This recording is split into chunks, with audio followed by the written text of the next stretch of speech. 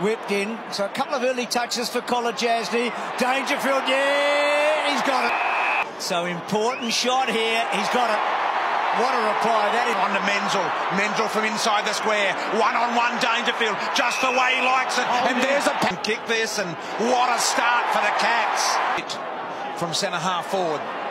High footy, look at this. The Cats are going to mark and they do goals for the year. And make it 15. Bit of a wall here.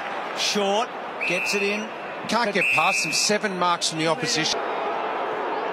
He's got it. So in against Hawthorn, kicks to full forward. Oh, he's got it. Can he make a mark? They're three goals in front. Look a little bit too tall in there tonight. The opposite of what Geelong came up against last week with Richmond. Dangerfield's got a free kick right in front of goal. It's on goal tonight. He kicked the first two. He's got three. He's got three first half goals. Forward to Duncan, and Duncan, oh, he's done it again and dropped it Hawkins, but back to Duncan, and he's got another one. To Mackie. Mackie kicks to the top of the square. Here is Reed. Oh, Smith, magnificent.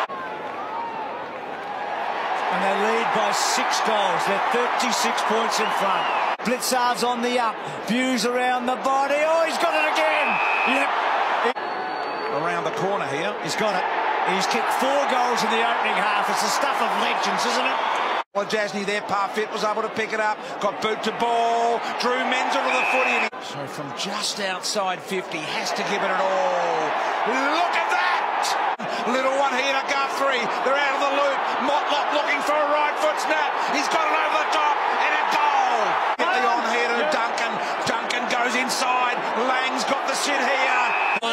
that's why Menzel has his shot. And he plays on, no problems.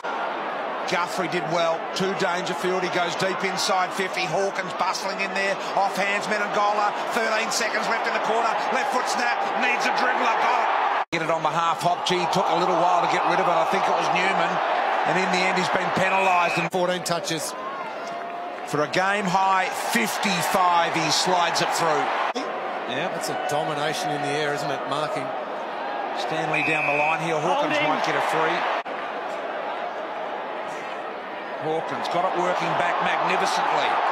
and he gets his goal. They're going to play Adelaide in a prelim final for the first time ever. And Geelong are into their eighth preliminary final in 11 years off the back of four goals from that guy in the first half. Mackie gets another final. Taylor did the job. It really has been a remarkable night for Geelong at the MCG.